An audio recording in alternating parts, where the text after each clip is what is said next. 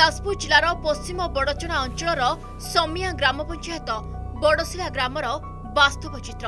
ଏଠାରେ ବାଟ ହୁଡ଼ିଛି ବିକାଶ। ବିଭିନ୍ନ ସମସ୍ୟା ନେଇ ଗ୍ରାମବାସୀ ଅଭିଯୋଗ ଆଣିଛନ୍ତି। ତେବେ ସରକାରୀ ମୌଳିକ ସମସ୍ୟା ହିଁ ଥିଲା ଲୋକଙ୍କ ବଡ଼ ଅଭିଯୋଗ। ଯାହା ଷୋହଳ ନମ୍ବର ଜାତୀୟ ରାଜପଥ ଛତିଆଠାରୁ ମାତ୍ର ଷୋହଳ କିଲୋମିଟର ଦୂର। ଯାହା ବଡ଼ଚଣା ବ୍ଲକର ଉପାନ୍ତ ଅଞ୍ଚଳ ଭାବେ ପରିଚିତ। ହେଲେ ଏଠିକାର ଶାସକ ଦଳର ବିଧାୟକ ଦୀର୍ଘ ସତେଇଶ ବର୍ଷ ଧରି କ୍ଷମତାରେ ରହି ଆସୁଥିଲେ ମଧ୍ୟ ବିକାଶ ପହଞ୍ଚି ପାରୁନାହିଁ ସମିଆ ଅଞ୍ଚଳରେ ରାସ୍ତା ସୁବିଧା ନଥିବାରୁ ଅନେକ ଅସୁବିଧାର ସମ୍ମୁଖୀନ ହେଉଛନ୍ତି ସାଧାରଣ ବାସିନ୍ଦା। ଦୀର୍ଘ ପଇଁତିରିଶ ବର୍ଷ ଆମର ବିଧାୟକ ଯେଉଁ ନିର୍ବାଚନ ମଣ୍ଡଳୀରେ ଜିତି ଆସୁଛନ୍ତି ନା ସିଏ ଭୋଟ ପାଇଲା ବେଳେ ଆସୁଛନ୍ତି ଖାଲି କହୁଛନ୍ତି ଆମକୁ ଭୋଟ ଦିଅ ଆମେ ରାସ୍ତା କରିଦେବୁ ପାଣି ସୁବିଧା କରିଦେବୁ ଅମକ କରିଦେବୁ ଢିଙ୍ଗ କିନ୍ତୁ କିଛି ସୁବିଧାର ବ୍ୟବସ୍ଥା କିଛି ବୋଲି ନାହିଁ। ବର୍ଷା ଦିନ ହେଲେ ଆମେ ସାର୍ ଘରୁ ବାହାରି ପାରୁନୁ। ଏକ କଥା। ଦ୍ୱିତୀୟ କଥା ହେଲା କୌଣସି ଟ୍ୟୁବୱେଲ୍ ନାହିଁ ପାଣିର ସୁବିଧା ନାହିଁ କି ରାସ୍ତାର କିଛି ସୁବିଧା ନାହିଁ କି ଆମ୍ବୁଲାନ୍ସ କୌଣସି ଗାଡ଼ି ଘୋଡ଼ାର କୌଣସି ସୁବିଧା ନାହିଁ ସେ ଭୋଟ ବେଳେ ନେତା ଆସିବେ ଆମକୁ ଭୋଟ ଦିଅ ଭୋଟ ଦେଇ ସାରିଲା ପରେ ଆମେ ସବୁ କରିବୁ ଭୋଟ ଦେଇ ସାରିଲା ପରେ ସରିଲା ସେ ଆଉ ଆସିବାନି। ସମସ୍ୟା ଆଜ୍ଞା ଆମେ ତ ତିରିଶ ବର୍ଷର ବିଧାୟକ ବାରମ୍ବାର ଆମେ ଜଣାଉଛୁ ଅଭିଯୋଗ କରୁଛୁ ପଞ୍ଚାୟତରେ ଯେ ଆମେ କରିଦେବୁ। କରିଦେବୁ ଏମିତି କହି ଚାଲିଛନ୍ତି କରୁନାହାନ୍ତି।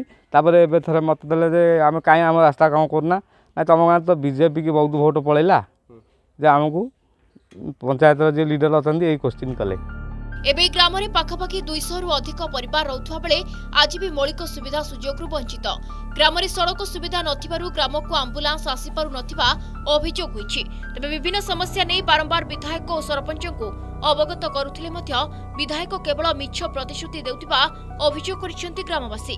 ଗମନାଗମନଠାରୁ ଆରମ୍ଭ କରି ଶିକ୍ଷା ପାନୀୟ ଜଳ ଭଳି ନିତ୍ୟାନ୍ତ ଆବଶ୍ୟକ ମୌଳିକ ସୁବିଧା ବି ନାହିଁ ଲୋକଙ୍କ ପାଖରେ। ବାଟ ନାଗି ଛୁଆ ପିଲା ପଢ଼ୁଛନ୍ତି ଆମେ ଚାଲିପାରୁନୁ। ପାଣି ବି ନାହିଁ। କୋଶକ ବାଟରୁ ପାଣି ଆଣୁଛୁ ଆମର ବଳ ବସ ନାହିଁ। ହଁ? ଏଇଆ ଆଉ- ଏଇଆ ଆଉ କ'ଣ? ଏକୋଇଶ ବର୍ଷ ହେଲେ ଶାସନ କଲେଣି ଗାଁର ସୁବିଧା କିଛି କରିପାରୁନାହାନ୍ତି। କାଇଁ ମୁଁ ସେମିତି କାଇଁ ଅଭିଯୋଗ କାଇଁ ମୋ ପାଖରେ ଆସିଲା ଭଳିଆ ମନେ ହଉନି ମୋର ନାଇଁ। କାଇଁ ଟ୍ୟୁବୱେଲ୍ ତ ଥିବ ନିଶ୍ଚିନ୍ତ ହଉ ଠିକ୍ ଅଛି ମୁଁ ଆମର ଯାଇକି ଟିକେ କହୁଛି ଯାଇକି ଆଗେ ଇନକ୍ୱାରି କରନ୍ତୁ କ'ଣ କ'ଣ ଆବଶ୍ୟକତା ଅଛି। ଦେଖିକି ଆମେ କରାଯାଇ କରିବା ତେବେ ରାଜ୍ୟ ସରକାରଙ୍କ ଯୋଜନା କାହିଁକି ହେଉଛି ଦିଗହରା? ସାଧାରଣ ଗରିବ ଲୋକେ କାହିଁକି ଯୋଜନାରୁ ପଡୁଛନ୍ତି ବାଦ୍? କାହିଁକି ଚୁପ୍ ବସୁଛନ୍ତି ବିଧାୟକ ଓ ବ୍ଲକ ପ୍ରଶାସନ? ତେବେ ଆଗକୁ ଜିଲ୍ଲା ପ୍ରଶାସନ କ'ଣ ପଦକ୍ଷେପ ନେଉଛନ୍ତି ତାକୁ ହିଁ ଅପେକ୍ଷା।